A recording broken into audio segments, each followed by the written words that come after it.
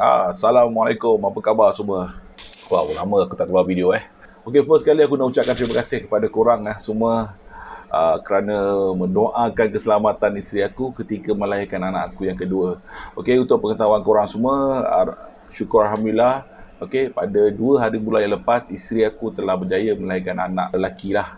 Uh, dia punya berat baby tu dalam lebih kurang 2.8 kilo lah. So alhamdulillah semuanya dah selamat. Okey, kebetulan aku semua dah tidur, okey, semua aku punya kerja dah settle. Aku saja jaga kode PC dan aku tengok aku dapat notification ada satu trailer baru. Ah, trailer baru daripada Marvel Studios yang bertajuk What If.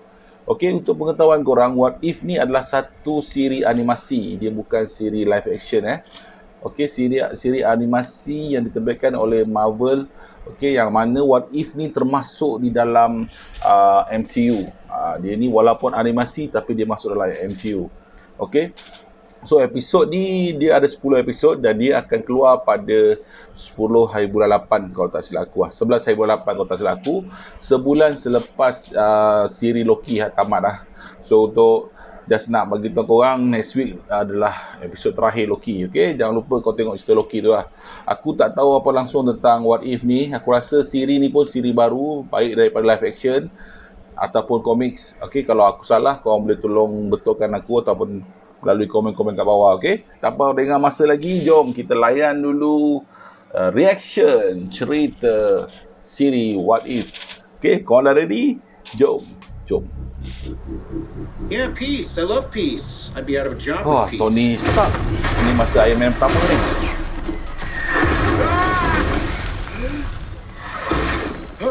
Iron Man pertama. Ah, siapa tu? Ini Do bukan Mamat yang cerita apa dia? Cerita Black Panther tu yang jahat-jahat tu. Wah, dia masih dia lawa ah. Reality, reality.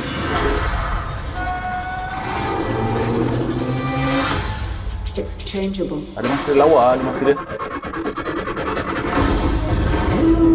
Where you want to be? Star-Lord. That's the question, isn't it? Every universe is different. Each one Awak dia dark ada Sam Slow down a little bit. There's a few people in the room that don't understand. Not me, I, I get it. Suara dia sama aja suara Chris Hemsworth lah Ha, perempuan tu Captain British ke apa? Perempuan The name's Captain Carter. Captain Carter jadi Captain British Scheiße. Actor dia mati dia I am the Watcher. Transpires here. but I do not, cannot, Zombie will not dia? interfere. Menarik eh Animasi ni I guess I have to freestyle then.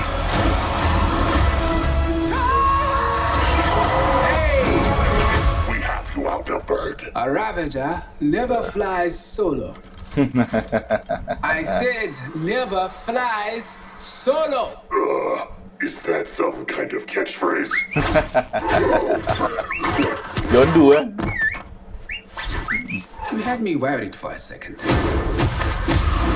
Journey to face the unknown. Dia punya feel macam anime eh Bagus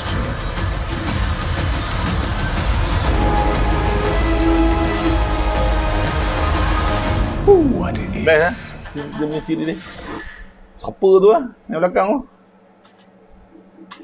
apa ni uh, ni season pertama tau dan dia akan plan tahun depan dia akan keluarkan season yang kedua. Wah, aku rasa betul-betul menarik ni eh.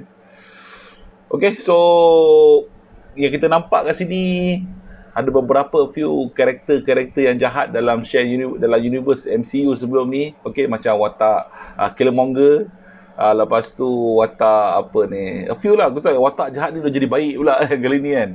Betul-betul what if lah. Maksudnya dia dah start uh, ketengahkan uh, st- storyline cerita multiverse.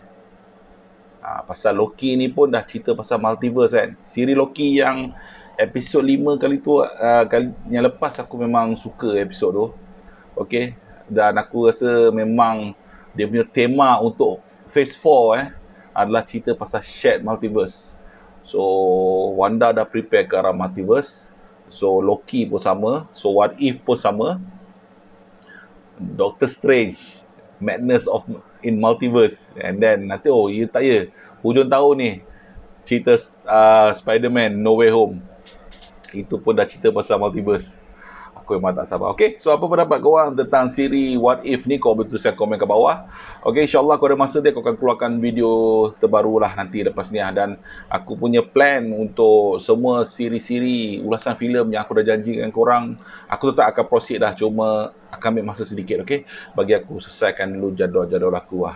Kenapa aku boleh buat video react berbanding pada ulasan filem? Okay, sebenarnya lah, ulas bila aku buat ulasan filem ni video-video aku tu aku habiskan masa agak lama untuk aku edit. Dan aku macam biasalah proses kau orang untuk movie lepas kau orang untuk movie kau nak tulis pendapat kau sekian-sekian ambil masa juga. Lepas tu kau nak shoot lepas kau shoot kau kena edit. Edit tu lah, ambil masa sekarang 4 jam. Ha 3 hingga 4 jam.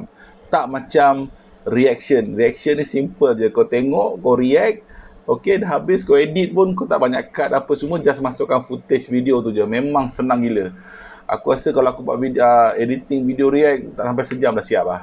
So, tengoklah kalau ada masa malam-malam free kalau aku boleh cover dengan video react aku buat lah. Okay, uh, korang semua wondering eh, kenapa aku tak keluarkan video okay, selepas pada isi aku bersalin. Just nak inform lah. Okay, sekarang ni kita berada dalam keadaan PKP lagi. So, that's mean yang mana kebanyakannya isteri-isteri yang nak bersalin ni biasanya diorang lazim dah akan semua pergerakan masih lagi terbatas. Menjalani period pantang dia selama 2 bulan lah. So of course kalau dah pantang tu biasanya kau akan macam kau akan buat macam-macam lah urut, okey kau jaga makan, bagai dan sewaktunya lah.